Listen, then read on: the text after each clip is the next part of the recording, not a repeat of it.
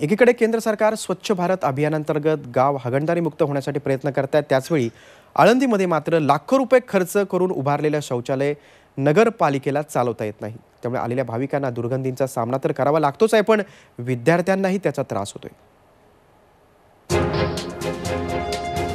आळंदीमधल्या नगर परिषदेच्या शाळा क्रमांक तीन जवळचं हे तीन मजली शौचालय.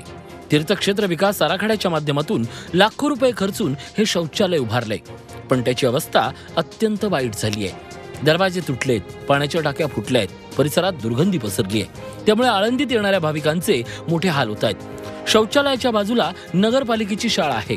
शौचालयाच्या दुर्गंधीमुळे विद्यार्थ्यांना अभ्यासात लक्ष लागत नसल्याचं विद्यार्थी सांगतायत. तर नगरसेवकांनी यासाठी नगर परिषदेला दोषी ठरवलंय. आम्ही शिकताना मॅडम दर्डा शिकवताना ना या टॉयलेटचा लय घाण वास येतो आणि मन लागत नाही. याच्याबद्दल ना आम्हाला त्रास झाला मच्छर चावतात मच्छर चावतात. याच्याबद्दल आम्हाला आजार झाले.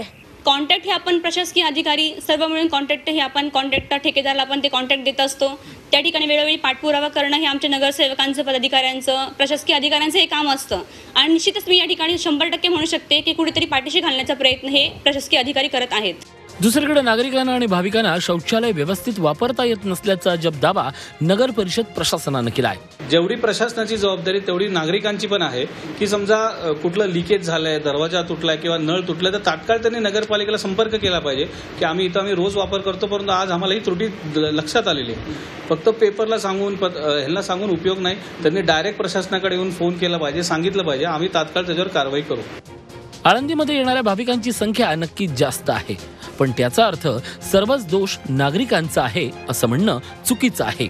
किमान नगर परिषदेनं धार्मिक स्थळाचं पावित्र्य लक्षात घेऊन योग्य ती कारवाई करावी हीच काय ती अपेक्षा? Kailaspuri Zee media Alandi. Zee चोवीस तास. रहा एक पाऊल पुढे.